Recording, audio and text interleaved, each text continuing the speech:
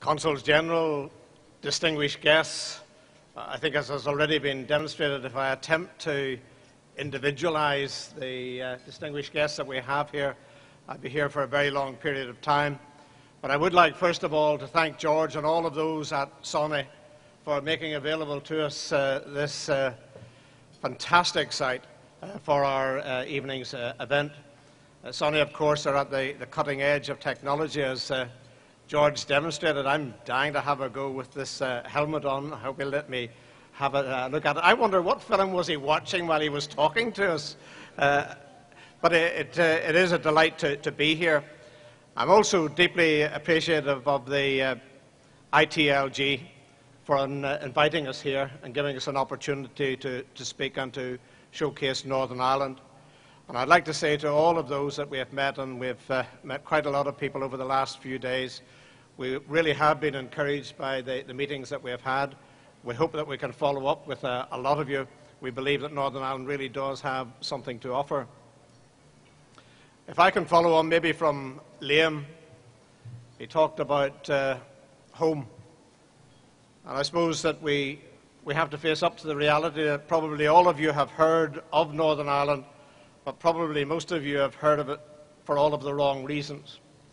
Uh, we are a people that have had uh, centuries of conflict.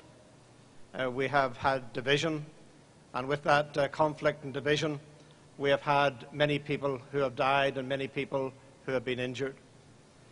It stagnated industry and commerce in Northern Ireland and left little hope for our young people.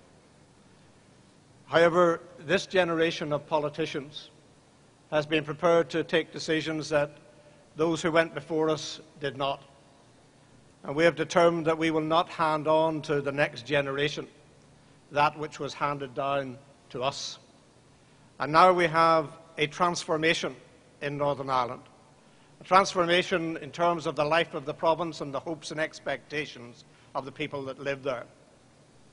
We have a, a province that has now political stability and is now moving ahead, moving forward in terms of business and investment, and an opportunity for young people to stay where they were born, where they were raised, where they have been educated, and to offer back to society the talents and the skills and the education that they have received. The other transformation, of course, is in terms of how Northern Ireland's commerce and industry has been based. Northern Ireland was at the forefront of shipbuilding. We had the greatest shipbuilders in the world at Harland and Wolff. They uh, built the Titanic, and if all of the English who are here will close their ears. It was all right when it left uh, Belfast before we handed it over. Uh, and we have, uh, of course, the, the first commercial aviation contract was from Shorts uh, in Belfast as well. However, times have changed, and on the, the site where the Titanic was built, we now have the Centre for Financial and Business Services and for the creative industries. We have probably the largest studio in Europe in the Paint Hall.